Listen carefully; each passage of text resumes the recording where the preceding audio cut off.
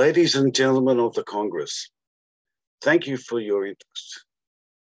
And I also wish to thank the organisers of the Congress for the invitation to present this, this study uh, by myself and my co-authors, authors, which was published recently.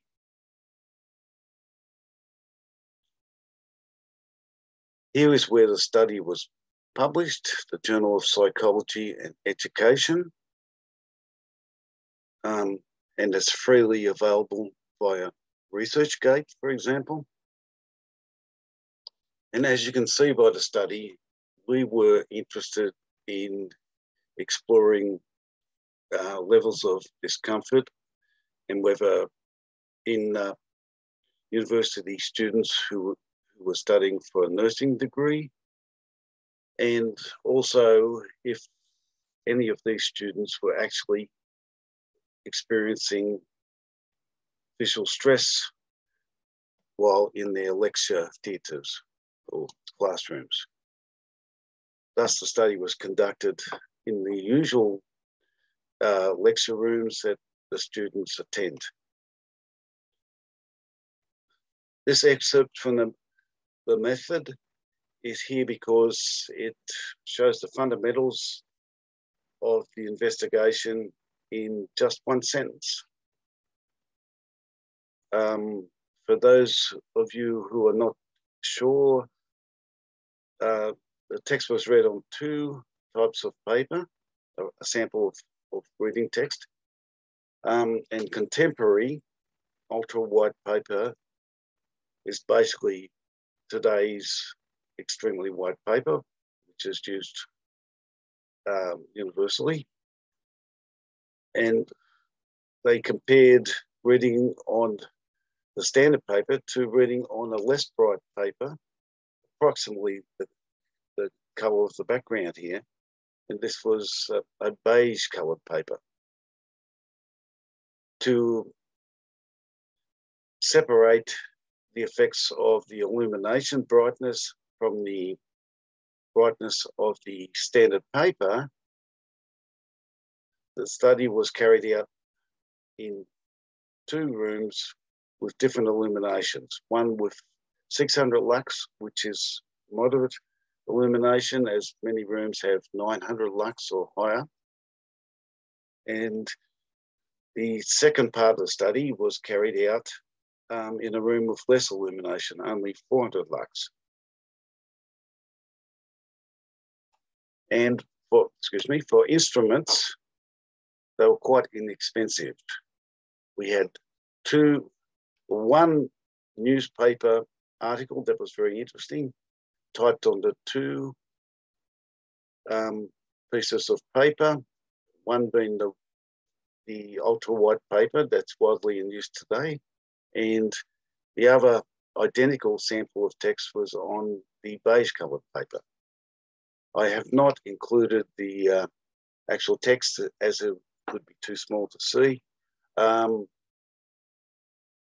the X's I've put here are merely examples of um, how the text was retyped by us. Um, it was in standard size 12 font Times New Roman and um, the only alteration was that we used normal text, bold text in some parts, italic text in, in, in some sentences, and also a few combinations of these. The students were given a reading comfort questionnaire um, and asked to rate um, the, the levels to which they might experience any of these six symptoms of visual stress or, or visual discomfort. These are uh, classic indicators of visual discomfort, which are usually reported by people with visual stress. Um, the rating um, range was from zero to five, with zero being nothing, none. They do not experience that symptom. three being quite noticeable, and five being highly noticeable. It causes difficulty to reading.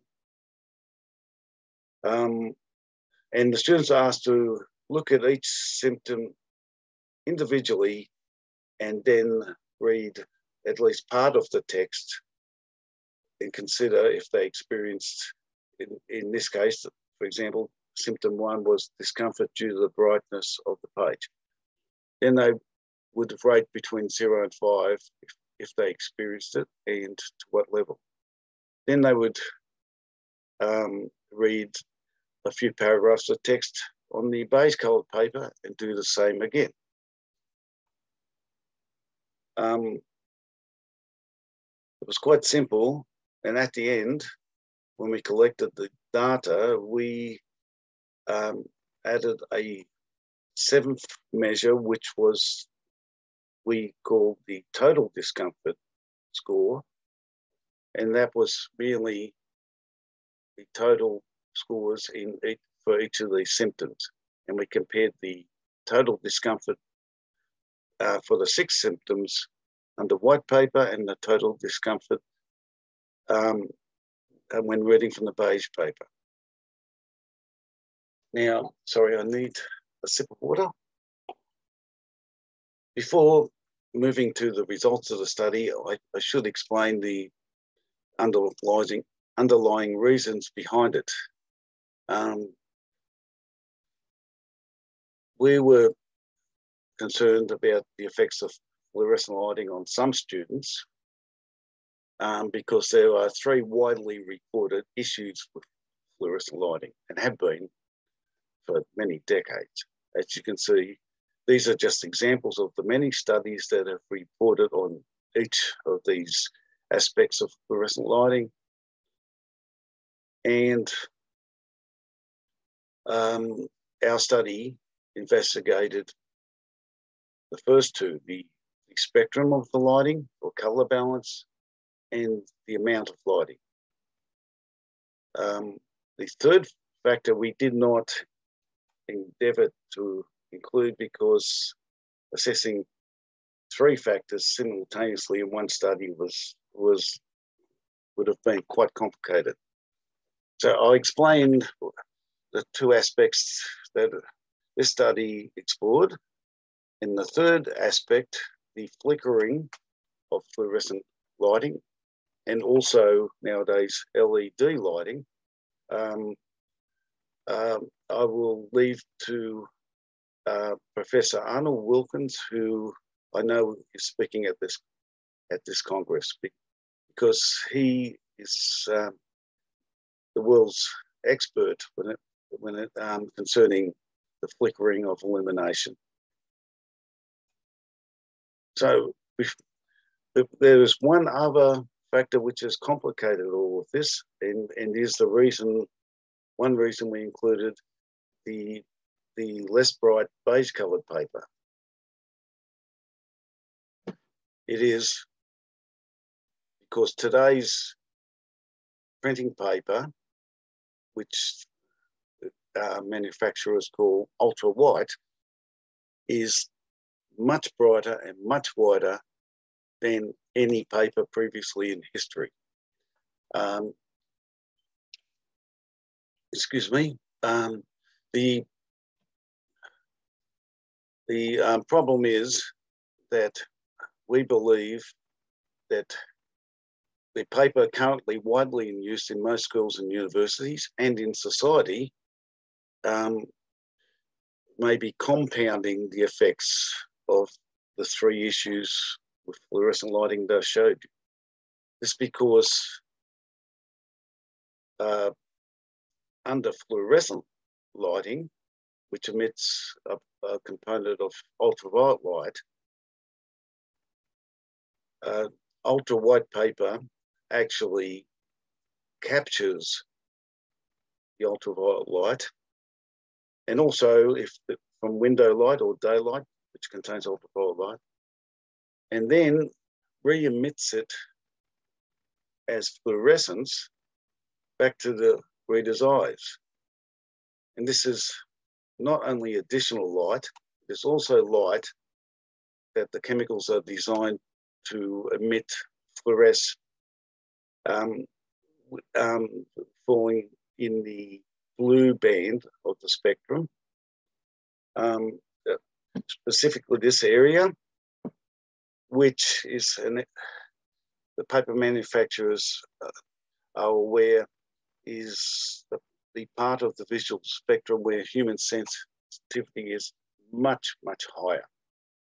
Um, I won't go into the details, we don't have time, but added blue light um, actually tricks the human visual system or the brain into perceiving more whiteness and more brightness.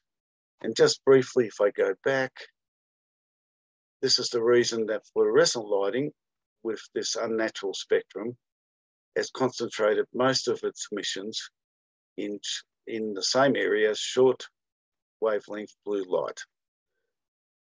Um, and as you can see, the spectrum here is uh, totally unnatural compared to the sunlight in the background and incandescent lighting, including halogen. Now, the results of the study, so checking the time, sorry, um, are here. It was in two parts. So the first part we called study one, and this is where the students actually um, carried out the experiment under uh, moderate fluorescent lighting, levels of fluorescent lighting. Here are the six symptoms in the in the questionnaire. Uh, if you're interested, they're much easier to read here. Um, here are the scores. However, I should point out that uh, I, since I presented some preliminary findings from our study at the conference last year, we have since uh, uh, increased the robustness of the statistical analysis by using the Wilcoxon signed ranks test. And however, this means that we have median scores here instead of means, which I much prefer, and they can be misleading. Um, and however, the statistical score, the Z score, instead of a T score, um, showed that five of the six symptoms and the total discomfort score all reduced significantly under the same lighting when the students compared reading the same text from the non-white paper. Excuse me again. Um, as I said, the the symptoms were rated from zero to five, so the total discomfort score was between zero and 30. As for study two, the second component of our study, the group was slightly smaller. Um, the, the scores were lower under the lower illumination, which shows in effect. And however, two of the symptoms um, reduced, symptom levels reduced even further uh, under the lower illumination when the students turned to the beige coloured paper. And likewise, the total discomfort scores under the 600 lux, it was nine, here it is six, but when comparing to the beige coloured paper, it was two and this was the difference was also significant. Whoops. So the key findings. 28% of the nursing students under the um, brighter illumination scored 15 or more or higher on the total discomfort scale, which is from 1 to 30. So th these are moderate levels of visual discomfort, bordering on what could be termed visual stress. However, 14% of the group scored between 20 and 25 on the discomfort scale with a maximum of 30. And, and here I've inserted, we had a pilot study before the actual study, and there were, we compared the, the same um, assessment with a group um, diagnosed with visual stress and a group of controls. And in our pilot study, the, the diagnosed visual stress group had a mean score of 21.7.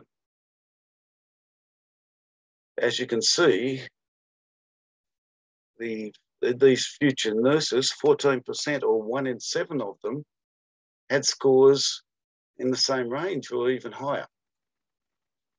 This suggests that these people uh, um, are almost definitely have visual stress but have not been diagnosed. As you saw in the table, excuse me for drinking water, dry throat, um, five of the six symptoms reduced um, when viewing the base coloured paper plus the total score.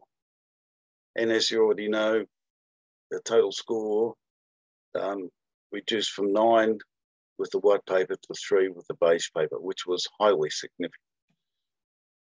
Um, now, the reason I've put this statement here is because the 14% of a non-clinical group of university students who are, um, are capable readers um, agrees with the findings of um, several other studies that that indicated that visual stress probably affects 12 to 14 percent of normal readers.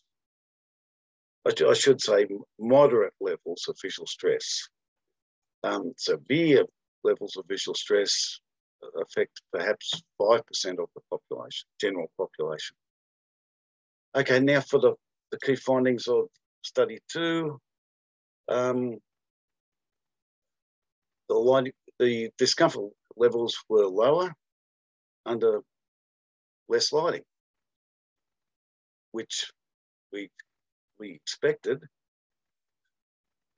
Still, 24% of the students scored 10 or, or higher on the discomfort scale, total discomfort scale of 1 to 30 and 8% of the, second group of these future nurses um, scored from 20 to 24, which also compares with the visual stress group's score, mean score of 21.7. Um, as you know, only two symptoms um, were reduced in severity when reading from the beige coloured paper, plus the total score. So the illumination appears to be a big factor, the, the amount of illumination, but also the brightness of the reading material is also a factor. Okay, um, so what does this mean? Well, the study shows that visual stress is not confined to people with reading deficits or severe reading deficits, as these students were at university, if, um, which suggests they are capable readers. They, um, previous studies that I've done have, have found the, same, the presence of visual stress in in proficient readers who are PhD students and academics, lecturers. And we speculate that the findings go beyond the classroom. For example, these nurses will one day be medical professionals in highly illuminated hospital settings working under high stress. And lastly, um, I, I this is purely uh, contextual by me. Um, it, it seems that the increased reporting of learning disorders in the last 30 years fits very well with the increased levels of brightness in the illumination and the reading material. Perhaps it's coincidence, but to me, it's it's um, suggests something. Okay, I've gone over time. I think I'm just checking the time. Um, now, the implications for healthcare and health are here. Obviously, the excessive blue light or added blue light from fluorescent lighting and now the paper is is not good for um, the retina. It can cause fatigue, cognitive fatigue. Excuse me, as well as hyperactivity, anxiety, and of course, it's really bad for people susceptible to visual stress, such as myself, which is the reason I'm wearing tinted glasses, coloured glasses. Um, and this is pure pure speculation, but uh, the British Medical Journal released a a, a Medscape alert um, following their study, which showed that in the USA, med preventable medical errors in hospitals um, is responsible for 251,000 deaths, the third leading cause of death. And an earlier study showed something similar. In Australia, the Australian uh, government commissioned a, a very large study of medical errors in hospitals 20 years ago and they found the same thing 14,000. Oh, well, they found that it was the third leading cause of death. 14,000 in Australia is 11% of all deaths, or about one in nine. Except these are medical errors that should not have happened. Of course, errors happen in hospitals, but these were entirely preventable, such as misreading the patient's uh, chart or misreading um, not seeing a decimal point on the amount of a, of a drug that should be given. So again, some contextual, some speculation um, by myself. This is purely uh, speculation. Um, I can't help considering what if visual stress is a factor in only 1% of hospital errors? it's just a thought, but if it were the case, it would mean in the USA 2,500 deaths, um, avoidable deaths in hospitals, um, may have had visual stress as a factor. I actually did some number crunching or calculations at my university and also at um, the University of Oviedo in Spain, where I did part of my PhD, um, just to see what the cost savings would be if the universities adjusted their illumination to what um, expert government panels recommend for reading and learning. Because at, at the moment, they have two to four times more lighting than's recommended in lecture theatres, and in classrooms in, in schools, including primary schools. For example, at, at, at the University of New England, there are only 5,000 students on campus. Most students are external students working from home. And for these 5,000 students, there are 20,000 fluorescent tubes, 1.2 metre fluorescent tubes, I should say. Um, many years ago when I did this, uh, I calculated that just by cutting that in half, they would still be over the recommended um, uh, specifications for adequate lighting, but they would save a quarter of a million dollars a year and a thousand tons of CO2 emissions. in Spain, it's similar. To, um, I'm not sure if all universities are the same, but there seems to be about four um, large fluorescent tubes or eight shorter ones for each student. Um, in Spain, they reduced the lighting hours because the the Chancellor uh, said that it's ridiculous that we have 100 kilometres of lighting if all the tubes were put end to end. and then, now in Spain, the electricity cost has almost doubled, but back then in 2013, when I calculated this, 400,000 euros a year could be saved and 4,000 tonnes of CO2 per year.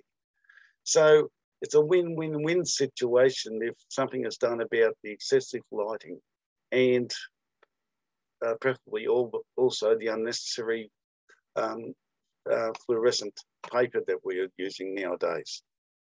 Most people are quite happy to read a book which is cream white. Book publishers never use optical brightening um, uh, agents, these fluorescent chemicals, simply because they want to make it comfortable for their customers to read the book. However, to teach reading, we are giving young students in kindergarten blindingly white paper, which adds extra blue as well as illumination, uh, visible light, to the uh, over illumination with excessive blue from the lighting above. So they're, they're getting excessive light with excessive blue from above and more light and blue from below when they read. It's, uh, it's really uh, something needs to be done about it. And this is what I think. Um, future research, there, there's so many possibilities. So I'll just leave you with this, this quote I borrowed from eminent researchers, Professor Arnold Wilkins and Bruce Evans. Um, a statement they made when asked, what can we do to end the, um, when will the controversy surrounding visual stress finally end? So thank you.